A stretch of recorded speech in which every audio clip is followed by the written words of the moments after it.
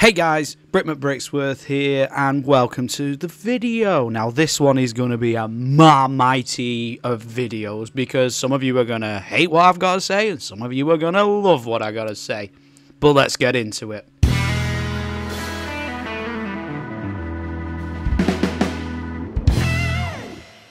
Guys, remember, if you like this video, please leave a like and do that subscribe and hit that notification bell because it really helps the channel. Anyway, let's get into it. So today we are looking at the Avatar Lego sets that have been announced for January 2023 release.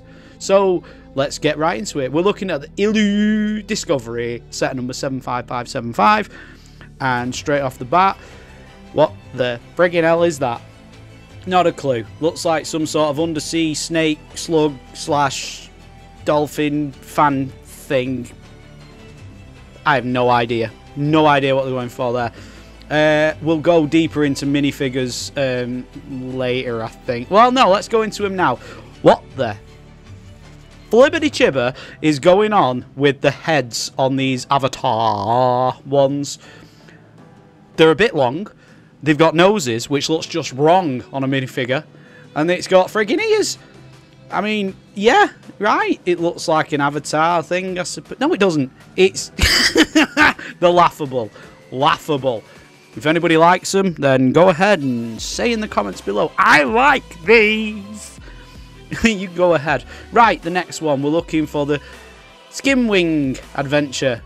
It's swimming and it's flying and it's a Skimwing. Uh, again, moulded headpiece on the actual thing. The worm butterfly crap thing, what it is, I don't know. Um, it looks rushed. The wings on it look rushed. It, no, don't appeal. Does not appeal to me whatsoever. Again, minifigures look crap. Them extra long freaking legs look crap on a minifigure. I know what they're going for. I get it. They don't look good on a minifigure. Change my mind. Next, we've got the Mako submarine. 75577. The submarine looks pretty good. I'm not going to lie. The submarine looks pretty good. I like the um, rock built things you get with it. Uh, they look good. The little stingray type thing, that looks good. Minifigures, again, look crap.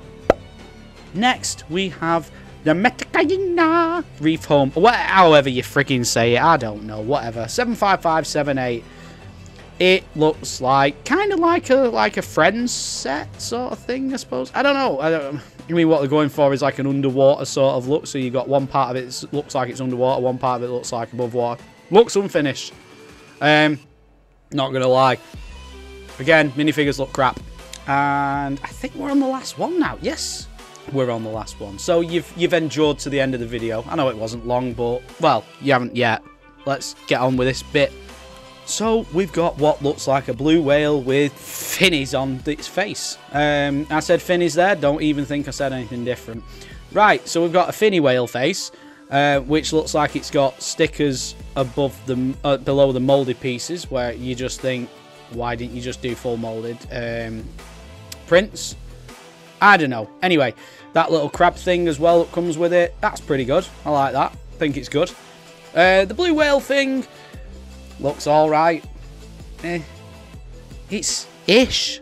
Average-ish at best. Um, I'm not a fan.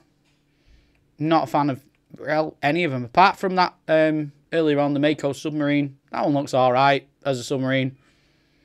I'd probably get it and jettison the minifigures somewhere. Like, against a wall or out of space. I don't know. Throw them across the road, run over them with a car. I don't know. Something. Just to make it a bit more fun. Uh, guys, you've actually now endured to the end of the video. And uh, I hope some of you enjoyed it. And I hope some of you hated it. Because I think it's funny that way. Um, please comment below either way. And um, yeah, I'll see you in the next video. Bye-bye.